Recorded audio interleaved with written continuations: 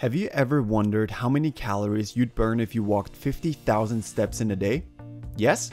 Me too. Before COVID 19, I challenged myself to take 50,000 steps in a day to find out how long it will take me and how many calories I will actually burn. Yeah, it took me that long to edit this video. According to the World Wide Web, 10,000 steps burn between 400 to 500 calories. Obviously, that changes depending on your physique, gender, and age, but let's just go with 500 for now. If that number is correct, I would burn 2,500 calories just by walking. But how long does it take to take 50,000 steps? I wanted to find out. I got up and started my day by taking the stairs instead of the elevator. Living on the 36th floor has never been a struggle until that day. By taking the stairs, I increased my step count by 1,500 steps within about 10 minutes, which I thought was a great start. I grabbed my headphones, started a new book from my Audible library, and zoned out. An hour later, I was 7,330 steps away from my apartment. Next step, walk home and hit the gym. When I arrived at the gym,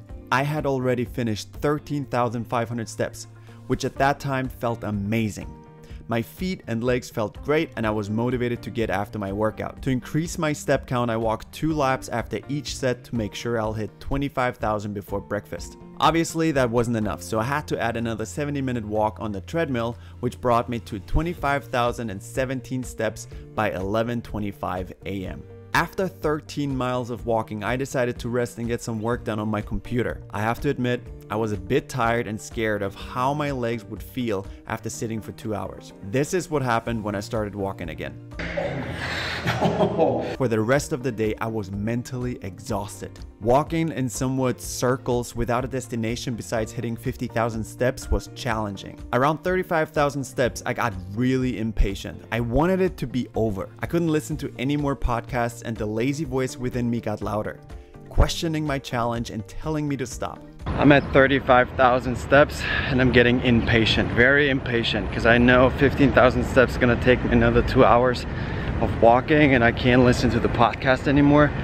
Like now, my mind is just going anywhere. Like it's just like, stop, stop. Like why? Why are you wasting so much time? Just go home. Obviously I kept on walking and pushed through the annoying part when all of a sudden my mood changed drastically. Not gonna lie, the last 5,000 steps were horrible.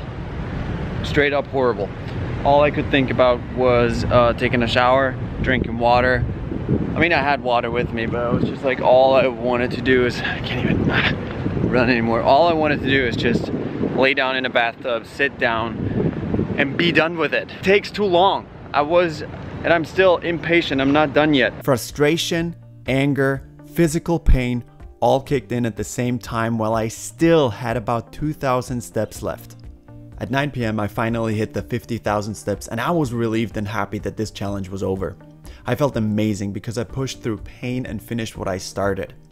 So let's talk stats real quick. According to my Apple Watch, on that day I burned 2,412 calories, 4,603 in total. I walked 25.6 miles and I took 50,726 steps. I'm really happy I did this challenge and I want to finish this video with the raw footage of me signing off that day and I hope you got something out of this video that you can apply to your own life. Now I'm happy. 50,000 steps, I finally did it.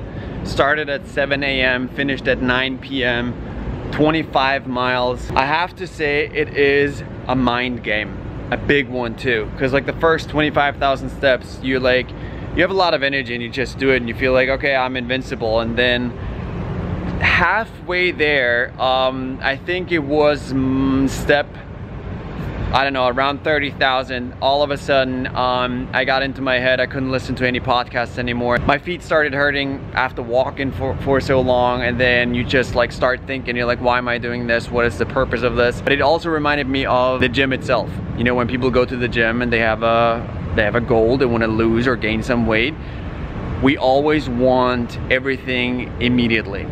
Like we, we want to see progress immediately. But that's the point. You need to be patient and you can only take one step after another. There are no shortcuts. Like there, there, there was not a single shortcut for me to just be like, all right, I'm just gonna hop over here and that will add 10,000 steps to my count.